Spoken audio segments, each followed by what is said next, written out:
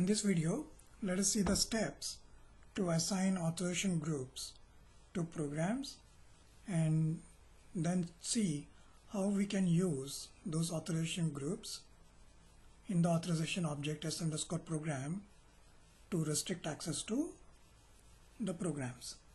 Okay, so let us first go and pick two programs uh, which we can use to assign the authorization group. So what we will do is we will assign two different uh, authorization group to each uh, each uh, to each of them. Okay, so that go to transaction SE16 and use the table tr dir. Okay, so this table tr dir has the list of programs uh, with the authorization groups associated with those programs. So let's go and select programs that begin with a Z and execute. And you have five programs here that we see. And the authorization group field is in the SECU is the authorization group field. Okay, so you will have the authorization group values assigned here. Okay. Now you other have you have other information about the program also as to who created it, when it was created and all that. Okay. So let's pick these two programs.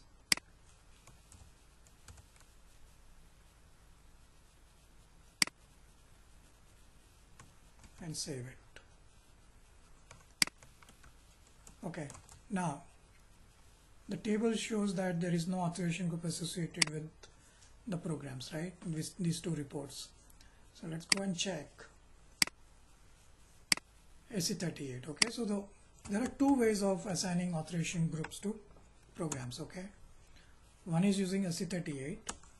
You can enter the program name in SE38 and the developers will have to do this, you know.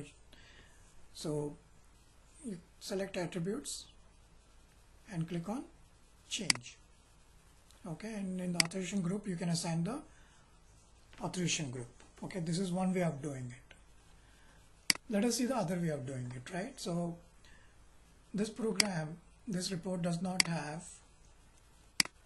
the authorization group. So let's see the the other one right? The z program download. Okay so let's go to attribute and say display. So even this program does not have the authorization group.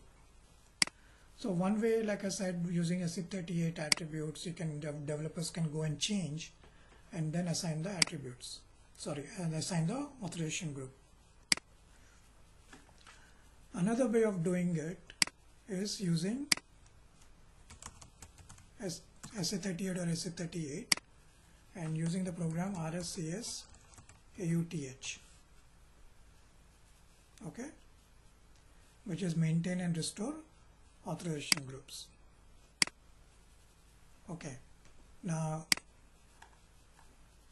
ex execute this program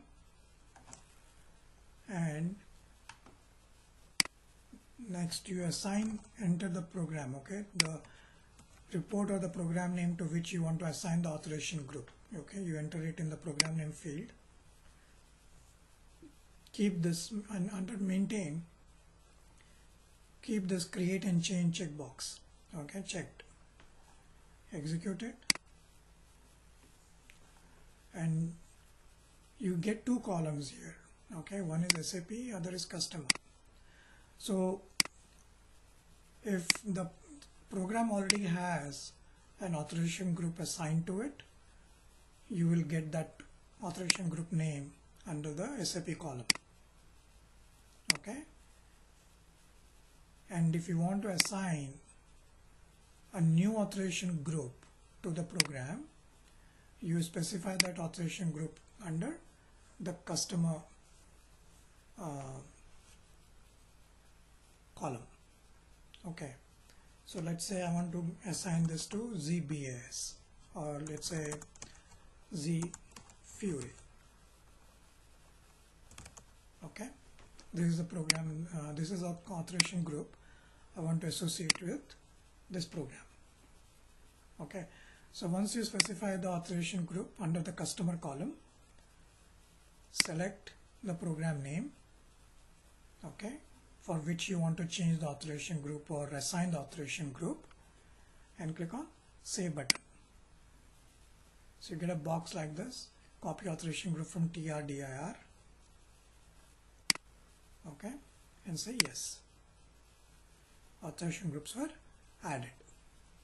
Okay, now let's do the same step.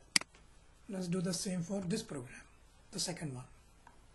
Okay, so go back and then for this program, say program download,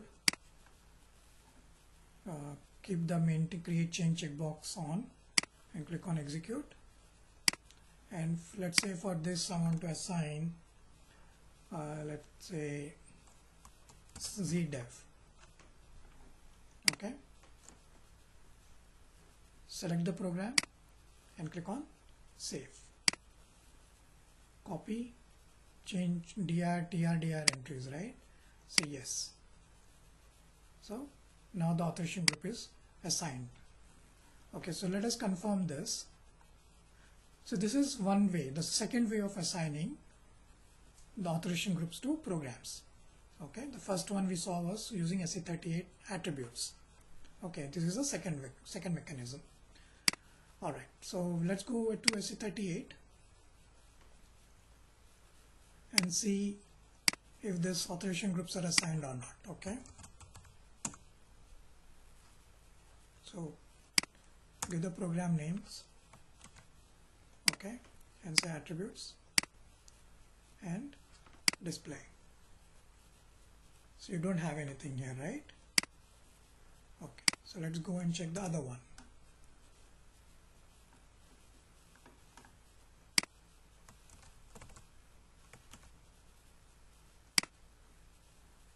It's not there.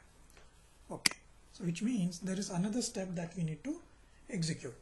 So because this authorization groups okay they are not listed in the table SE16 there's another table called TPGP okay. If you go to table contents and we had zdev okay. You don't have that entry here. And you also used zfury right? So let's check whether we have this authorization group in this table so tpgp table okay if you go to S11 this is a table that contains the program list of program authorization groups. Okay so those two entries are not there. So how do we update the table right? Tpgp table. So you go to SE38 or SA38 and use a program called RSA BAUTH okay pass authorization groups from TRDIR to TPGP so execute this and then specify the program name. So what we are doing is whatever authorization group is associated with the program in TRDIR table that authorization group we are updating updating that into tpgp table. Okay so remove the check test run and say execute. Okay so zfury okay let's do this for the second one second program also.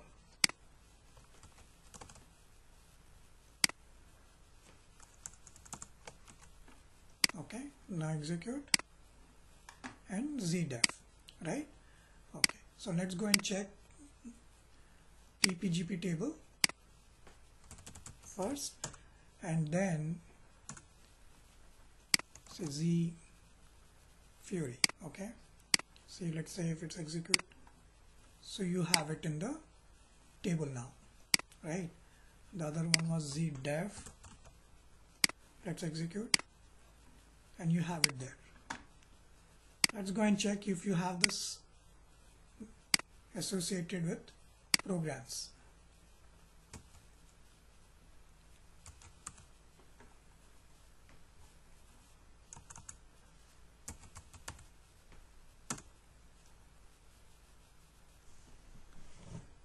change the program name now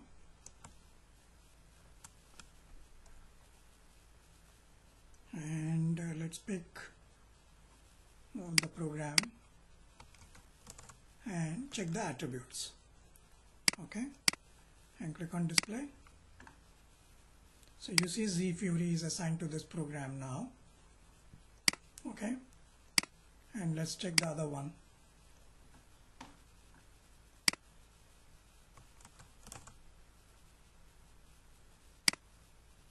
And check the attributes for that program too. Now you have zdev here right? Okay now let's see how we can use these authorization groups for uh, with s underscore program to restrict access to reports and programs okay? So let's go to pfcg and create a role called uh, z program okay? And here let's go enter let's say testing program access.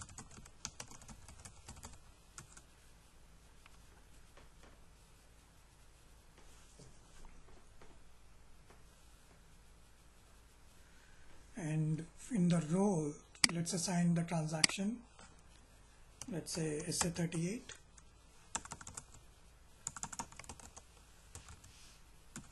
and SA53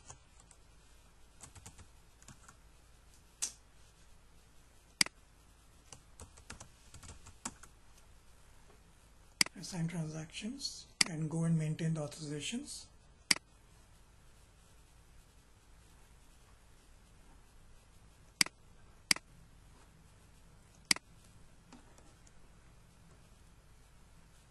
And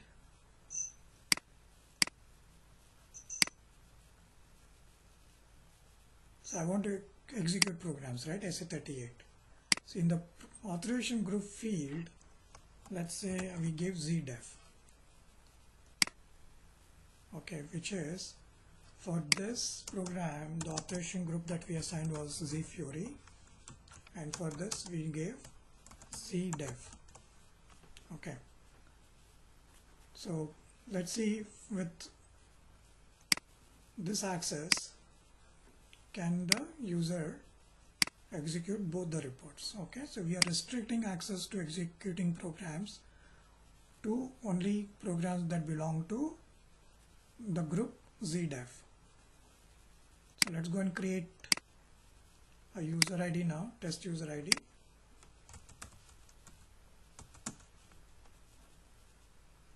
say zprg1 okay? Create test user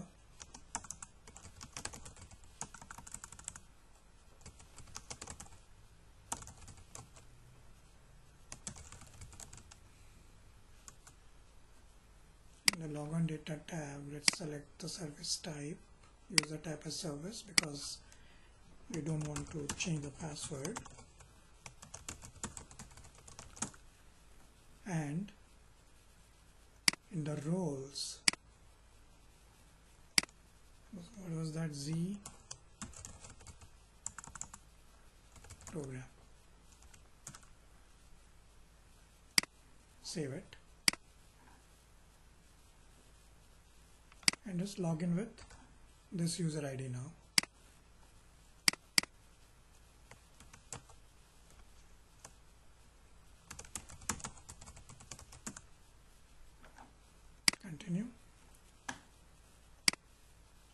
execute SA38 and let's see what happens if I execute the Z Fury program first. Okay let's say execute. Submit authorization for Z Fury required right? So if you go and execute slash NSU53 you see the authorization group value it is looking for is Z Fury. Okay. Now let's test the other one.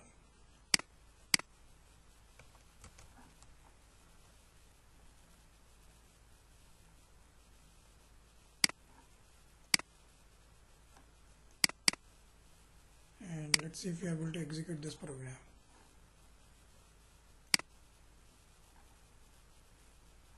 So it does. But it gives an them because maybe there is a program error uh, since the program may not be completely developed.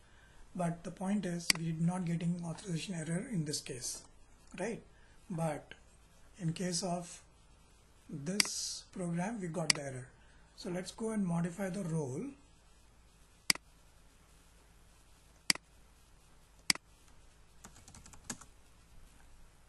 And add includes the zfury authorization group also into the role now.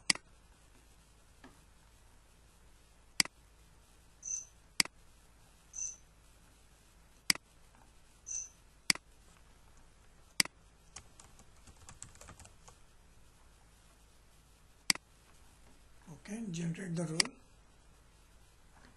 Okay let's go to the test user id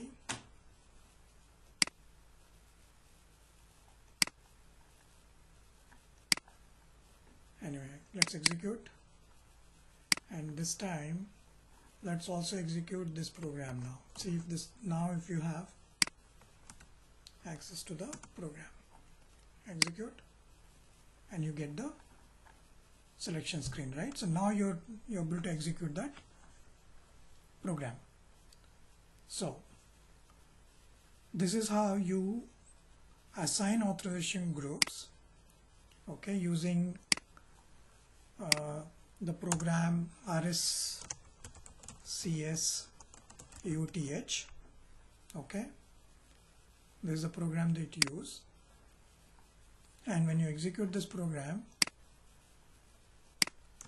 okay whichever authorization group you want to assign uh, to the program you specify that in the customer column under customer column okay and after you have assigned the authorization group if it is a custom one that you have specifying right you also have to update the TPGP table okay which contains the list of authorization groups for programs.